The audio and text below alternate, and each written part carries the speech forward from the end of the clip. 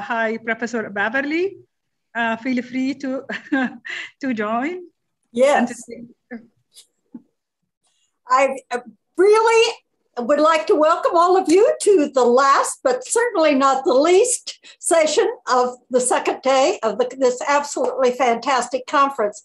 And we have three wonderful speakers uh, who will be talking about such things as how to keep people safe and uh, smart farms, and also about business performance management solutions and technology. So I think we have three wonderful speakers, and our first speaker will be Mohammed Farouk. Uh, are you here? There you are. And I'm going to turn it over to you. Yeah, uh, thank you very much, uh, Professor. So, you know, very good seeing you, all of you. So, you know, I think uh, we all are sitting in different parts of the world. So, I don't know what to say. Good morning, good afternoon, good evening, uh, wherever you are in the world. For our midnight, midnight. midnight. I know in Kuwait, I know it's Kuwait. It's it's it's it's quite a hectic. You know, it's a long day for you, doctor. Yeah.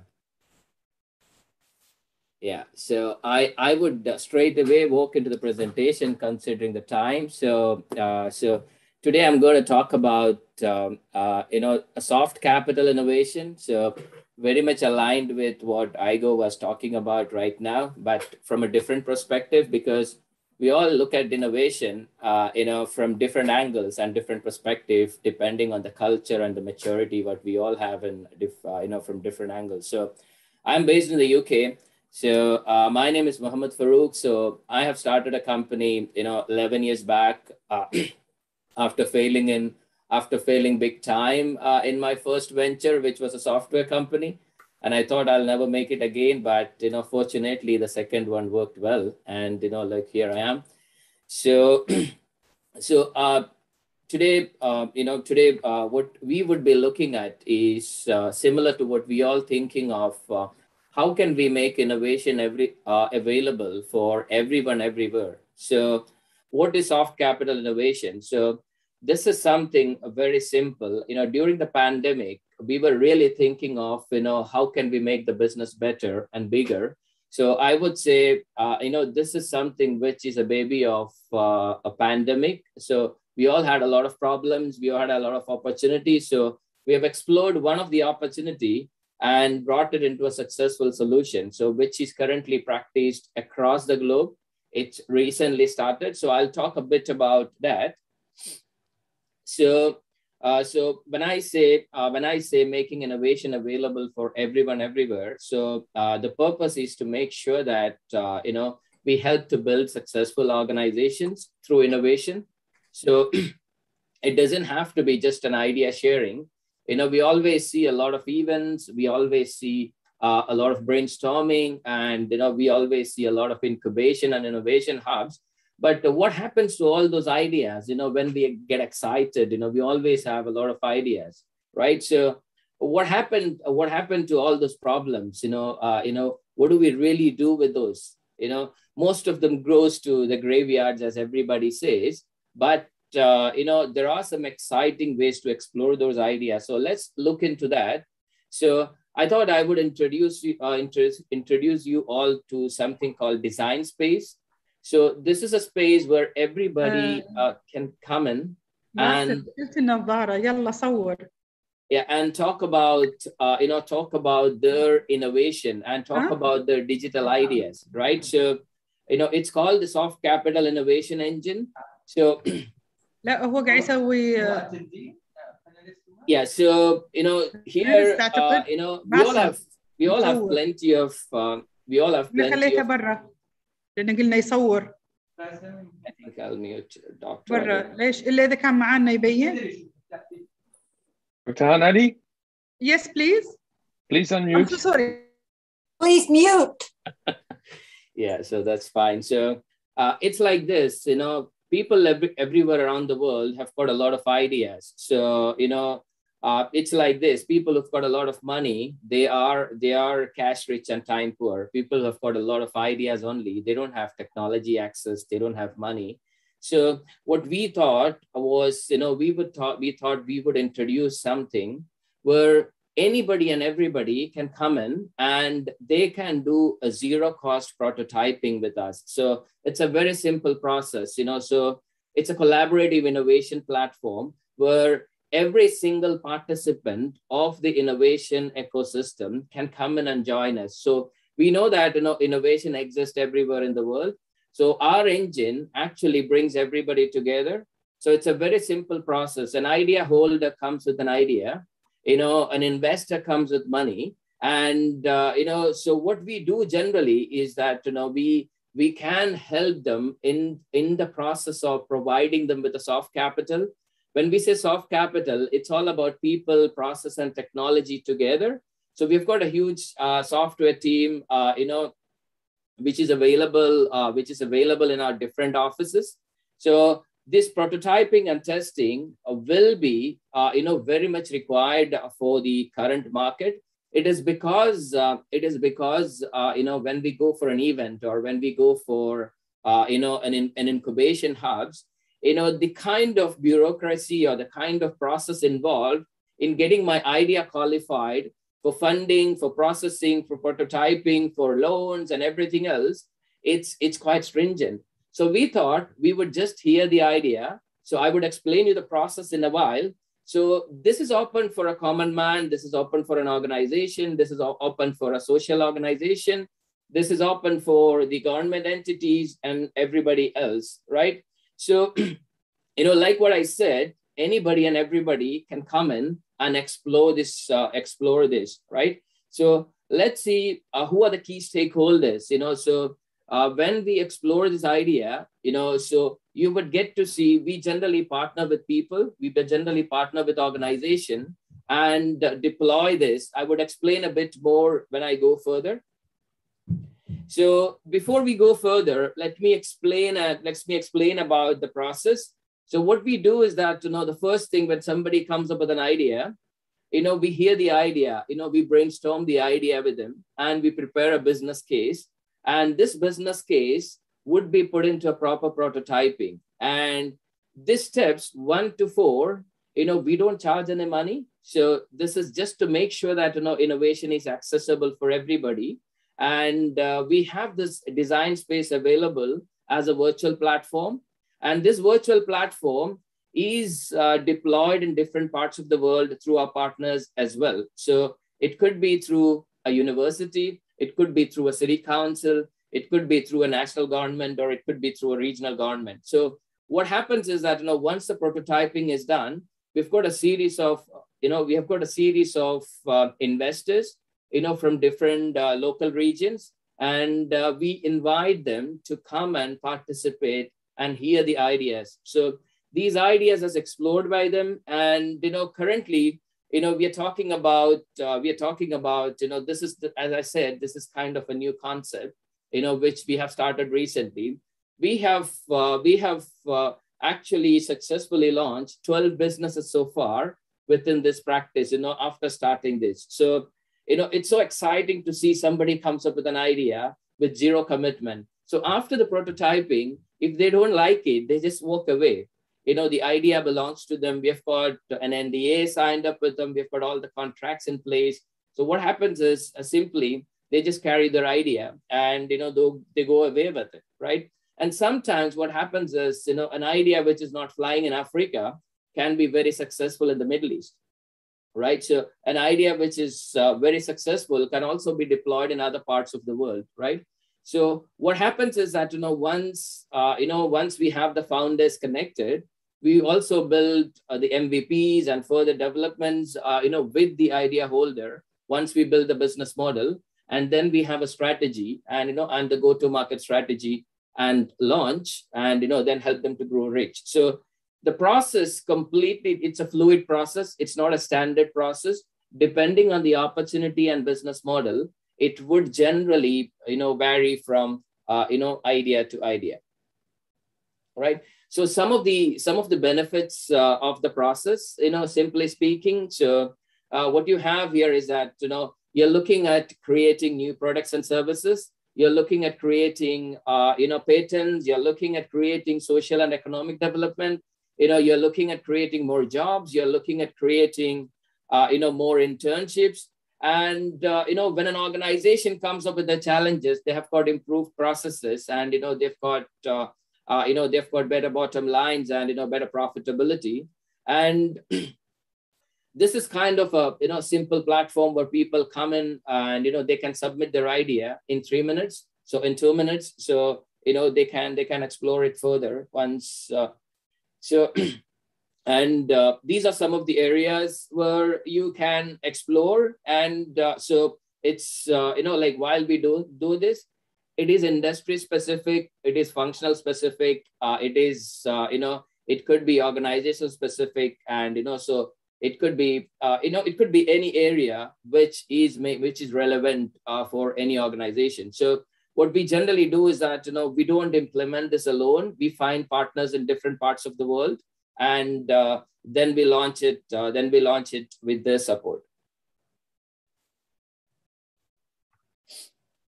And uh, the most important thing is that you know, as an organization, uh, you know, or, or as an individual, when we build a digital idea, you know, they don't really own the intellectual property if it is some if it is built by somebody else. But what we do is that you know, whoever comes up with an idea, the IP belongs to the idea holder the IP belongs to the organization who is working it, uh, working with us. And uh, like what I said, it brings a lot of social and economic development, you know, throughout uh, throughout the process. Okay, and uh, I would also quickly take you through uh, the actual dashboard, which you can see when you submit an idea, and you know, like what are the benefits and development it is going to bring throughout the process. And uh, this is where it gets it is getting excited. So we are looking at uh, you know we are looking at uh, creating 300 successful businesses in the next three years. The dream is not really big but uh, you know what we are looking at is that you know to complete 500 prototypes. And when we say 500 prototypes we don't ask many questions and uh, you know shortlisting criteria for uh, for somebody comes up with an idea. We help you we help them to prototype the whole you know the whole concept and uh, then we connect them to the innovation ecosystem. And uh, so, uh, as I said, you know, from 12 businesses launched, we are looking at having 300 businesses coming up in, in the next three years through this process across the world. So we cannot do this alone. We want support from every single one of you to come in and join us in terms of doing it. So it's it's kind of a zero commitment process. Anybody can come and share their ideas, and uh, so who knows? You know, out of these 300 companies, like Igor said, you can see that you know the, the, there could be uh, there could be 20 unicorns, there could be 30 unicorns, there would be 200 patents. You know, so there's no uh, you know so the only only thing what we generally say is that when somebody comes up with an idea it has to be a digital idea. It could be blockchain it could be artificial intelligence it could be a simple digitization. But you know currently we are processing only digital idea. So hopefully you know we can achieve our goal together as a team. So it's uh, it's it's kind of uh, uh, it's kind of a very simple and easy process uh, where you can explore it in a detail. And so you know as as you're hearing uh, you know you can you know so you can say you can choose your design space. Like i said it could be an industry it could be a location uh, it could be a national government. So it could be a design new york it could be a design africa it could be a design london or it could be design dubai or it could be design kuwait.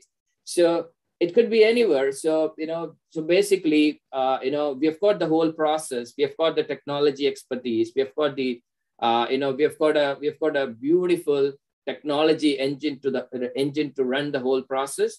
So all we look at is that you know how can we make it accessible and available for students, for working professionals, for unemployed, you know, for government entities, for social organizations, you know, and how can we collaborate with the universities? How can we collaborate the other ecosystem, you know, the other ecosystem key players in terms of uh, in terms of uh, the uh, you know uh, you know the educational institutions, the national governments, the city, the city and state governments, right? So it's high time you choose your design space, and uh, you know basically like what I said, uh, you know, it is it is kind of a very powerful tool. You know, it could be uh, it could be an it could be an industry, it could be uh, you know a specific function. So uh, we are uh, we are currently uh, you know opening up in different parts of the world, and you know we have got we've got a lot of exciting partners. So I'll, I'll quickly you know I'll quickly take you through the platform itself. So and before I go there, uh, please make a note of uh, my mobile number if you want to take a screenshot and uh, please take, uh, take a note of my mobile number in case if you want to reach me.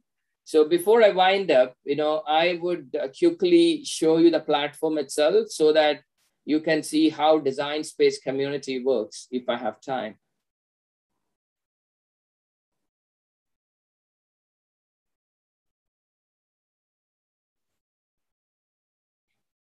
You have about three three minutes. Perfect. That's more than enough. Yeah. So you can see the design space platform here. So you can see the number of ideas submitted. So it is, it is for a design space partner. This is just a sample data. So you can see the number of patents, you can see the number of technology projects, you know, a very simple dashboard. If this is executed at a national level, you don't need to submit any report. You know, the, the, the minister comes in and sees that, okay, what kind of social and economic development we are making for the country because we spend so much of time and energy and money for every country. And you know i don't know where those budgets are going on but if you've got an exciting engine you know that okay how many new startups have been created? What is the number of jobs? And you can see the number of ideas you know and the current status of each of those ideas. And there's a very powerful innovation community like what i said. It could be you know it is it is a global community. So it's a very powerful community. So when I was looking at the uh, you know the key speakers and you know the kind of roles they play, I thought that you know this is a very powerful platform where people can uh, you know come and explore it. And it's a you know this is where the website is when uh, when you come to the website. So it's a it's called designspace.io. You can just click on it. All you have to do is that you know you have to spend those three minutes uh, to you know to submit your idea. So i'm not just so it's like uh, it's it's it could be anything. And you know i'm not spending much time on it. It's it's it's, a conversational data capturing tool. So you know so you want to keep your idea public or private? Like Igor said you want to keep it open you can say. And or you want to keep it private you can keep it. So it's it's it's it's a very simple process. Is it solving any problems? And you know and uh, you know finally you can look at the opportunities and then you say that okay i just want to submit it. So that's the that's the whole process right? So i would like to stop here you know you know without uh, taking a lot of time. So hope if if there is any any uh, anything to be discussed we can use the rest of the time uh, you know if that's okay with you all yeah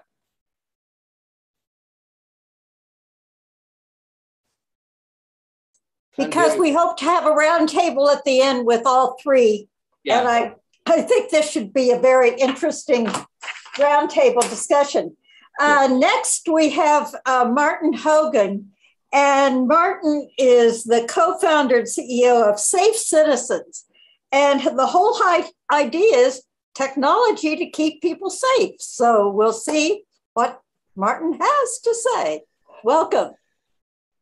Thank you, Professor Anderson, and good evening, everybody. My time, UK time, um, and and uh, actually, I think we've got things slightly the wrong way around, uh, oh. uh, Professor. Tomorrow, I'm talking about the company that I founded. Oh. Tonight, tonight, I was asked to just give some some kind of entrepreneurship 101s, if you like, for uh, for, for for for people who uh, who want to learn from an old grey man who uh, who is uh, who's rather long in the tooth, but very, very experienced in terms of entrepreneurship. So, a little bit of background to myself, if if if, if you'll bear with me.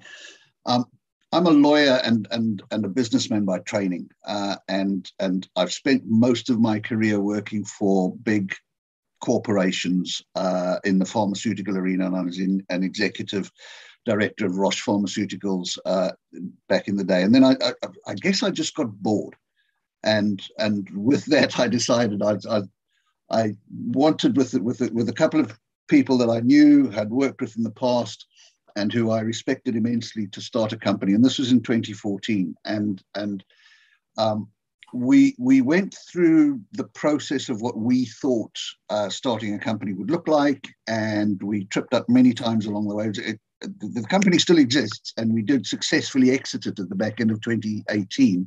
So it was successful, but there were very, very many hurdles along the way that we had to overcome. Um, and I thought that that uh, you know Dr. Hanadi asked me to to share some of those with you uh, ahead of me talking about the company itself tomorrow night. So so if you'll bear with me, um, I'd, I'd I'd like to just kind of do that. And the first thing that I think I'd like to tell any budding entrepreneur is is look for some way of validating your idea. Um, everybody's got ideas. Not everybody thinks they're they're as great as you think they are, right? Um, and and and so you need to be very very clear about what the value proposition is and and what gaps in the marketplace or opportunities they're looking to exploit um, and and make sure that every single person that you speak to goes away from that discussion absolutely with no confusion around what it is that you're looking to achieve and i think that that the other lesson is is don't go to your friends and family and ask them if it's a good idea. They'll be kind. They'll be really, really nice to you and tell you all the things you want to hear, but not necessarily be brutally honest. And and so seek out experience, seek out honesty. Um, otherwise, I'm afraid that that the, time that you spend pitching the idea and, and in front of VCs or, or or the like down the road is going to be a painful one. Um, so, so do try and get all of that out of the way before you. And then lastly, I would urge, you know, I heard a speaker earlier saying that that, that youth is power, and I completely agree. I have two children um, at university right now, and you know, I, I think my generation really messed up the world. So it, it I'm, I'm, I'm hand passing it to everybody, you know, the generations after me to, to, to, to try and fix up what we messed up. Um, I was going to say something else, but I think I'm not in present company. Uh, then the other the other story that I'd like to tell you all is is is is one that we learned um, quite early on, and and it's very tempting to take money from anybody who's looking to offer it to you. Uh, and and the story is is that we we went out and pitched. So this is my first company, not not not this current one we pitched it to a number of individuals um, looking for angel funding. And, and one chap in particular seemed very, very interested in us and, and asked us what our follow on uh, raises were going to look like. And basically turned around to us and said he'll give us all of the money. He'll give us the money for the angel round and he'll commit to giving us the money in the follow up uh, seed round. And then he'll, he'll support us through Series A. And we were talking lots and lots of money here. Um, so as I, as I said, I, have got a wee bit of experience in business, and, and and generally, when things seem to be good to be too good to be true, it's because they generally are. And turns out that he was looking to pay for it for, for all of this with uh, with illegal money, money that had been gained from from from illegal nefarious activities, and so we would have benefited from the proceeds of crime, which, as you know, in the UK is a crime in in and of itself. So it, it was it was while it was tempting and and it certainly turned our heads make sure you do your homework. Make sure you do your due diligence and look for investors that will bring something to the table with them in an ideal world sometimes you'll just find somebody who wants to who likes your idea and is prepared to, to, to underwrite it most of the time you want investors that will bring more than just money to the table. It might be their network, it might be expertise, it might even just be support services. So, so, so that you know they might have a backing organization behind them, which has got HR and finance and things like that that you can plug into and keep your costs down. But crucially important, in my experience, for uh, for for you to look for what what I would call smart money, money that'll bring you know that's more than just the pounds and pence. And then the other one is is is look for customers. So customers bring money, but but look for what I call a reference customer early doors, a customer that that when you put that reality in front of other customers, they'll nod their heads and go, "Oh wow, if they're going with it, I respect them. I'd like to go along with that too." Now, that's a lot easier said than done, but I think that that it it it means that you need to be very very focused when you're when you're out doing your business development. Once you've established all of the things that my pre- the previous speakers were speaking about in terms of developing the company. Um, but yeah, look for reference com, com, uh, reference customers if you possibly can. Time is money. If you're a founder, it's very very easy to get distracted. Um, and I and I know this from from many many years of experience. There are always people who want some of your time. They there are always people who think you're nice and smart, and that's very flattering and all of that. So the, and the way I learned to do that was was to think about myself as an asset and and to assign myself a value for the various tasks that I was having to do as the founder and CEO of a company. And if some of those tasks could be done as well or better than somebody else at a lower value, then I'd pass that on. And and and that's a nice simple way of deciding what to delegate and what to keep. So if you can pass it off, that's that's a great idea. The other key tip that I can give is don't rush out and try and build your company's headcount faster than you actually need to, because you are going to find at some point that the people that you've hired are not actually the shape of person that you wanted, right? It, they, they might not have the skill sets in a year's time or 18 months' time that you needed uh, in the longer term. So my advice is wherever possible, and, and not on core stuff, so not on not on not on core and key development stuff, but but outsource as much as you can um, in the first three years because that'll help you get a very very good idea of of exactly the shape and roles that you need for your company as you start growing and then build a formidable team um, hire people that are smarter than you as, as much as you can. I, I, I've been very, very fortunate and very lucky that I've been successful in my life. And the secret of my success is that I was always not the smartest guy in the room. I was always the guy that managed to hire people that were way, way, way smarter than me, than than you. And then in terms of culture, encourage challenge. Um, it's it's it's very easy for people to follow a big CEO. What I mean by that, somebody who's got a big personality or is is is is is, is a strong influencer. But really do encourage internal challenge. And that once once you're external again, you're all talking with the same voice, but encourage open challenge.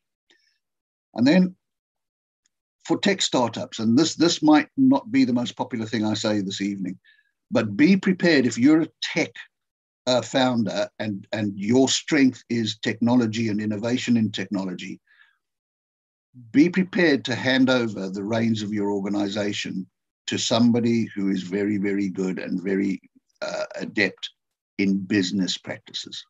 Um, now, that might be that you hire a very experienced financial director, or it might well be that you're, you, you know, you, you'll always be the founder, but you might not be the CEO and and and do try to put your ego to one side when it comes to um, to this particular thing because it's tough. It's it's it's very very difficult to do, but it's essential if you want your business to be as successful as you wanted it to be. And then my last and and probably most most important piece of of uh, advice is just get on with it. There's a big world out there we need lots and lots of people who think very, very differently about a lot of subjects.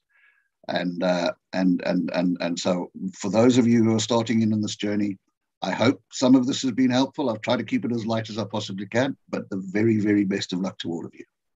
Thank you. Well, thank you very much, Martin. And I apologize. I thought you were going to be talking about your company, but this this was very interesting and very enlightening. And having worked with many entrepreneurs, everything you say is right on target. It's really, really true. Is uh, I've never met one yet that didn't think they had come up with the greatest idea in the world and everyone was going to want it regardless yeah. of what it was. It was that's exactly right. Fantastic.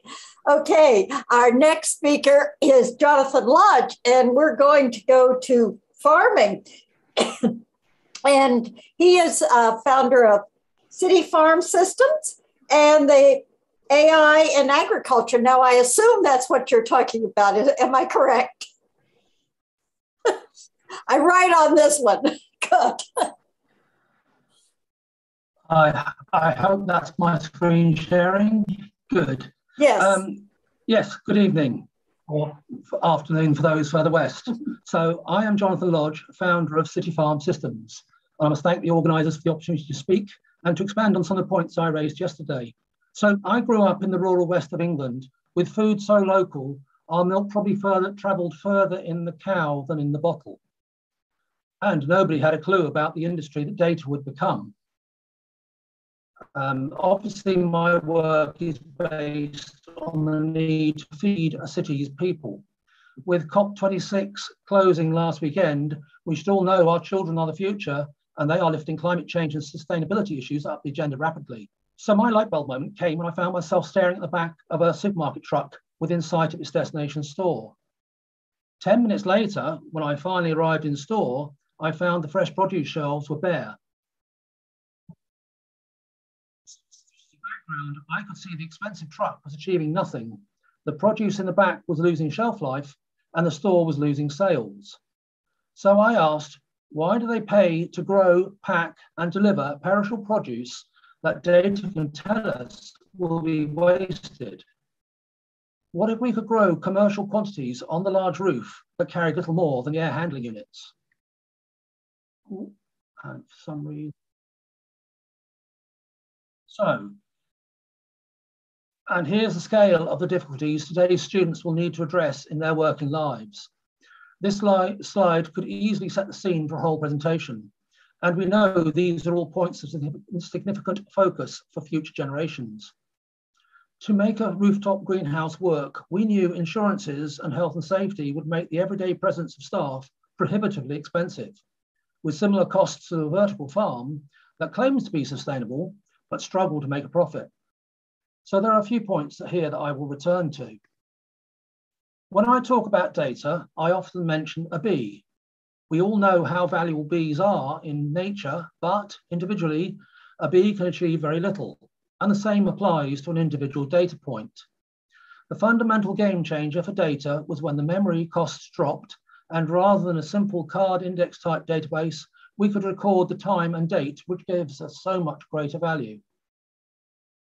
So back to bees, and collectively a swarm of bees can survive a winter, pollinate many acres of flowers, and deliver a valuable, healthy crop of honey, especially if it's manuka honey. So collectively, a swarm of bees has significant value, just like a large data set, which moves directly onto the value of supply chain data.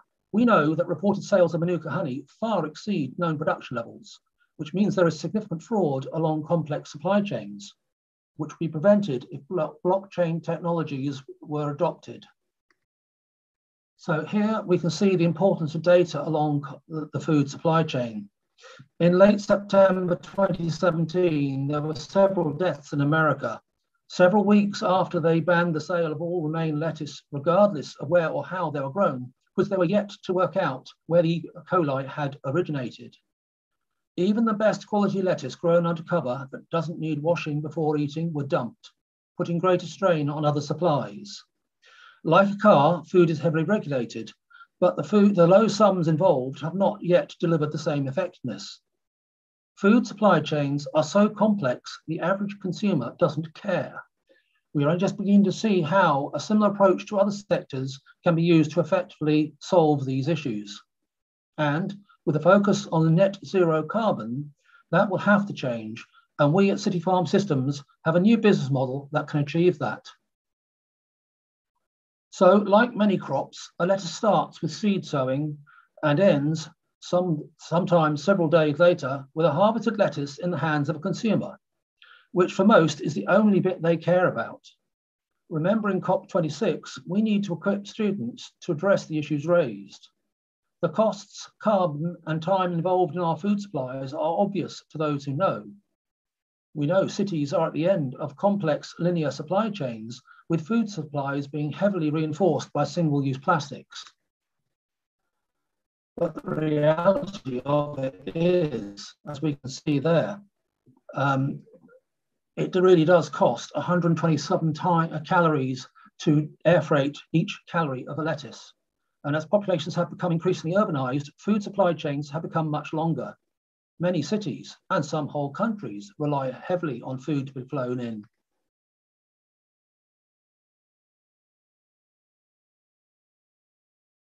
So the costs, carbon and time involved in our food supplies are obvious to those who know. To make progress towards net zero carbon, we need to teach students about every step as a potential point of data failure. We need trained blockchain experts to track progress. To keep it simple here, we can think of each forklift as a breakpoint in data and a point of profit taking that never reaches the hard-working farmer. Meanwhile, the lettuce is losing quality and shelf life all along the way. If we replace air freight with a vertical farm, we can see they are not much better. Depending on how they buy their energy, they may claim a smaller carbon footprint, but we should never forget that in a large city, they pay city overheads and still rely on the most expensive final mile, something every student is taught about these days. Ooh, sorry. Then there is a traditional supply chain, which often starts with a commercial glass house that depends on gas boilers. Often they will be running gas boilers all summer simply to create the carbon dioxide their plants need. And if we come back then on to what we offer. So the option I work on, we have the ability to automate and install a greenhouse on a lightweight roof, making a building more efficient and avoiding all the costs of distribution. Here we use data to change the business model and unlock the benefits that can only be found by growing at the point of need. This offers all the benefits of blockchain without the complexity as we hold all the data from seed all the way through to sale. We can install an automated greenhouse on a non-load bearing surface, such as the roof of a retail warehouse, hotel, office building, or apartment block. In India, they use greenhouses on the roof of office blocks to re reduce fresh air costs by as much as 35%. And we can go a stage further and help reduce scope three emissions by helping to feed the people in the building below. With COP26 just completed, we should remember all intensive indoor growers must add carbon dioxide, which is why they run these gas boilers. So much for global warming. Meanwhile, the end consumers are mostly found living, shopping, or working in large buildings where they already pay to dump carbon dioxide at roof level. So in other words, we can offer a carbon consuming supply chain. Many mathematicians are taught about how to present their information. So here is a graphic we use to compare some key performance indicators against others, where we could see the need to avoid increasing costs and make healthy food affordable. A key requirement for anyone who wants to address the UN's Sustainable Development Goals. And we're not alone in recognizing the potential of using agriculture in education.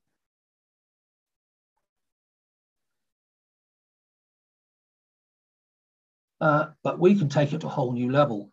Food is so important to us all, and we realize our low cost, low cost acquisition of data could be used to grow an education with STEM.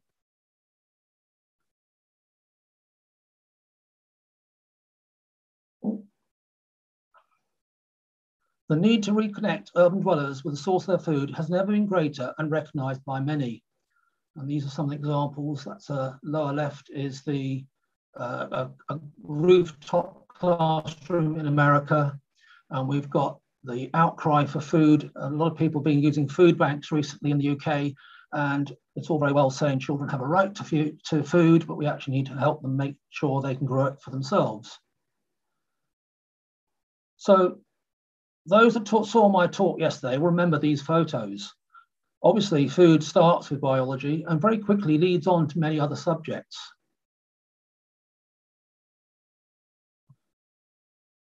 And the next slide from yesterday shows elements of a traditional business model, an essential starting point for any entrepreneur. However, Most business courses teach the importance of principles such as just in time. Again, another slide from yesterday that shows a typical industrial business model, but not one that can deliver our food tomorrow. So we must learn to adapt these principles. We have an organisation in the UK called Agrimetrics, and what frustrates me about them is they focus on supply side data and forget that most food waste is found post processing and short cycle crops and caused by the disconnect between supply and demand with many retailers so possessive of their data, it loses significance and value. Strangely, we seem to be alone in looking beyond lean and Six Sigma principles in the food supplies, maybe because our data acquisition is more effective.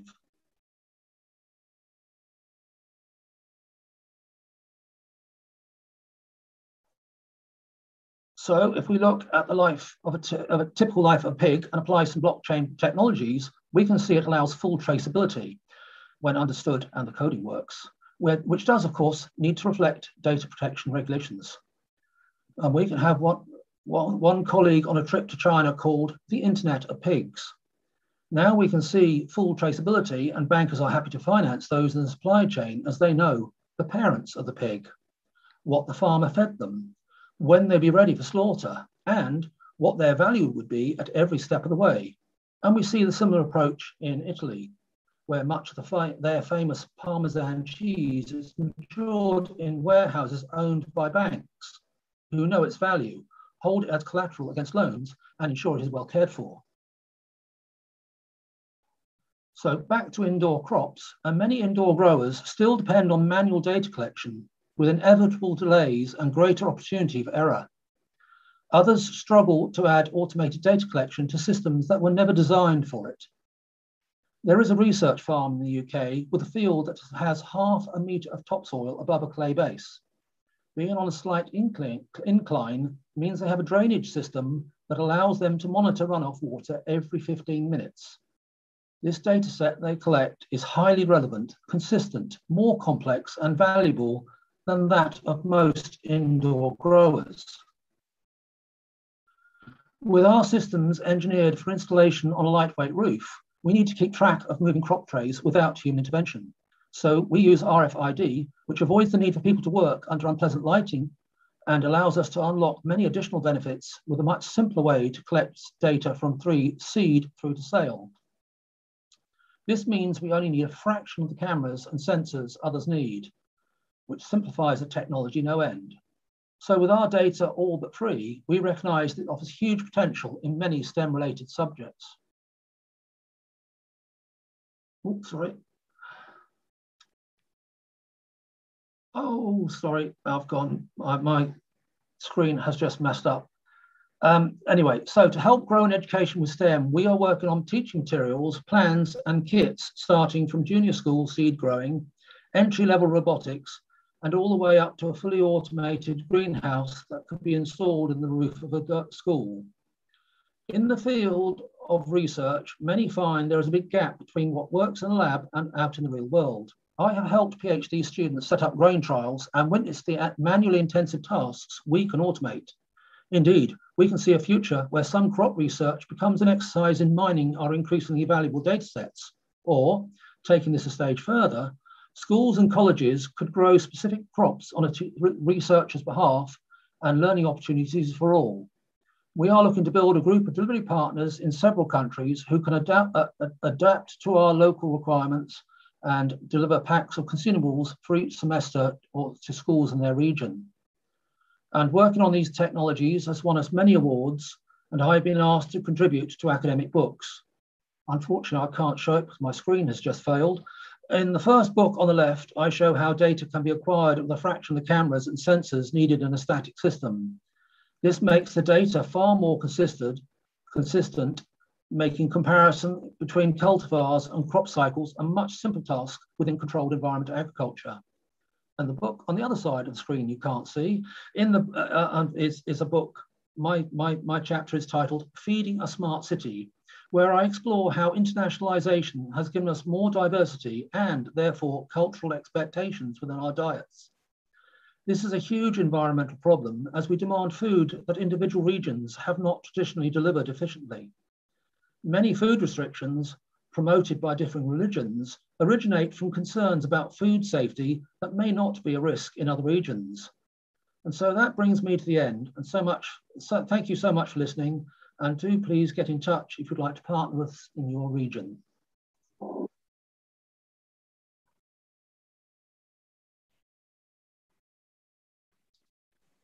You're on mute, Beverly. You're on mute, Beverly. Thank you. I wanted to thank you. I think that was an excellent presentation. Food is such an important part of our lives. And I'm wondering, Mohammed, is there some way you think your organization could work with some of these food ideas? I think uh, I think it would be exciting to you know I, I really like the idea of the be alone and you know be together. So you know that, that's that's that's uh, that's a massive uh, you know explanation. So I think there are plenty of opportunities. So the way we we can work, any idea on the food uh, technology or any idea on the food uh, space, we can actually you know work together to you know prototype all those ideas and you know probably kind of a food specific incubation space. Or if uh, uh, mr jonathan uh, uh take, thinks it is better you know we can always explore it. That's right. Yeah, yeah. Well, i had a question about food though. One of the things i was thinking that is it part of us uh, the fault of the consumers we have grown so used to wanting certain foods 12 months of the year, all the way around. Bananas, for example. I can't imagine not wanting a banana, regardless of the month it was, which really then requires shipping in, of course, from other places. Again, that's part of the internationalization, but of course, we may well have to face a life without bananas very soon. When the Cavendish banana that is predominantly used throughout the world is very much at risk. That's right. Martin, what do you think about entrepreneurship in the, shall I say, food distribution business? I, I honestly, until I'd, I'd heard Jonathan speaking, um, I, I was one of those sinful people who, who, who goes to the supermarket and, and, and expects to find what I, what I want. Um, and it, it, it, it it's deeply, deeply worrying. I mean, my daughter, for instance, um, is forever ticking me off and telling me that I've got to improve my my my purchasing habits and make sure that I only purchase from local producers, etc., etc. And we are, we're trying. But from an entrepreneurial perspective, um, I think that if we could get small groups of people in different locations buying into this, I think that this is an idea whose time has come. Definitely definitely, definitely. And and and I think I think the other thing I, I I spend a lot of time talking to investors and people that have got very very deep pockets and and in the last five years that that seven years now that I've been an entrepreneur, I think that you'll find that that the investment community is far far more sympathetic now than it ever has been to the kind of problems that we've been facing globally and this is right up there as one of the very biggest.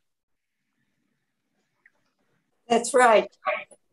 In some cities, they are also taking empty lots or places where they're tearing down buildings and making uh, community gardens of a sort. Does that fit in with what you were talking about there, Jonathan? It's it's becoming very popular. The problem is it's it's small back garden type growing in a city, it'll it'll help. It'll help a lot of understanding. It'll help with education, but it won't really feed the city. And we need to do a lot more. Um, our thinking is that again, effectively, what we're talking about is distributed growing and manage it via the cloud, and you've got that intelligence that actually helps it work. Well, I have to put a note. I've just been reading Darwin's origin of the species. And one of the things that he said is one of the things that happens when you get too many of any species, they start running out of food. And I mean, that was one of his sort of ideas. And of course, I think it's true now is where you have these food deserts around the world. and places where food is so difficult to get. And we have to be somewhat innovative if we're going to come up with a way to feed the world. Um, any comments you would like to make? Any, anyone who would like to ask a question? We have a couple of minutes left if we I think uh, it was uh, it was uh, a very neat, uh, no, a very representation which is uh, the need of the hour. Everybody is uh, going back to the basics. you know, we don't we don't really see, we don't really think of the scarcity of food and water, which is going to be coming up if we don't get together and work on it. And initiatives like this would definitely help us to explore, you know, better and bigger opportunities. You know, so I would say thank you very much. You know, like uh, Mr. Martin said, we never think of these things because everything is available around us. You know, so yeah, yeah. You know, well, thank you, thank you very much. Yeah. Of course, it wasn't in the last year. Um, both Brexit and COVID have highlighted the issues. Although That's actually it. there wasn't much of a shortage of food, it was mostly it was in the wrong place and the wrong size mm. packets. So we need far greater flexibility. And as you mentioned, just in time was become so popular, and that we're finding there's some problems with just in time when it can't get there just in time. we have ships off the coast of Southern California that can't get into dock. And so a lot of essential parts and essential items are sitting on ships that can't get into ports. Anyone else have a comment? Well, I want to thank all three presenters. And I'm sorry, Martin, for getting the topic wrong on yours, but it was very interesting and I certainly enjoyed it. And I want to thank Hanadi for putting this together. I think day two was just a wonderful day, Hanadi, and we thank want to thank you. you. You've done a thank wonderful you. job. Thank okay? and now it's almost midnight in Kuwait. Yes. And you can all have a good night's sleep. Thank you so much. Thank, Thank you. you. best, everybody. Thank you. Thank, Thank you. everyone. Bye-bye. Thank, you for staying Bye-bye. awake, Dr. Hanadi. Thank you. Thank you. Thank you all. Thank you.